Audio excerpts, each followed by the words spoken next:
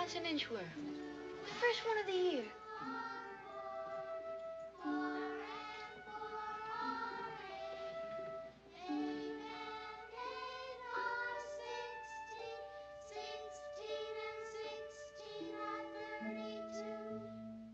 Inchworm, inchworm, measuring the marigolds.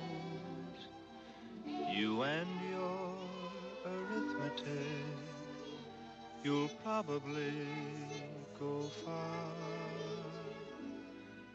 Inchworm, inchworm, measuring the marigolds. Seems to me you'd stop and see how beautiful